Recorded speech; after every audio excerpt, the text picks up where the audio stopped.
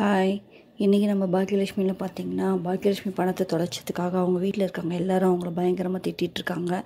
சரி அதோட ஒரு போலீஸில் போய் ஒரு கம்ப்ளைண்ட் கொடுத்துடலாம் அப்படின்னு பாக்கியலட்சுமி எழில் பாக்கியலட்சுமியோட மாமனார் மூணு மூணு பேர் கிளம்பி போலீஸ் ஸ்டேஷன் போகிறாங்க போலீஸ் ஸ்டேஷனில் போயிட்டு ஒரு கம்ப்ளைண்ட் கொடுக்குறாங்க.